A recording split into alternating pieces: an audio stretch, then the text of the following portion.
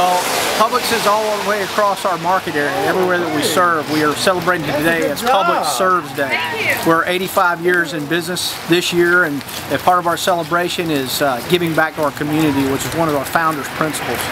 And all of our stores, all across the six states that we operate, are out involved in community service projects, helping the needy, feeding homeless people, doing projects like we're doing here in the Soaking Rain. We're painting the Homeless Resource Center and just uh, having a blast doing it.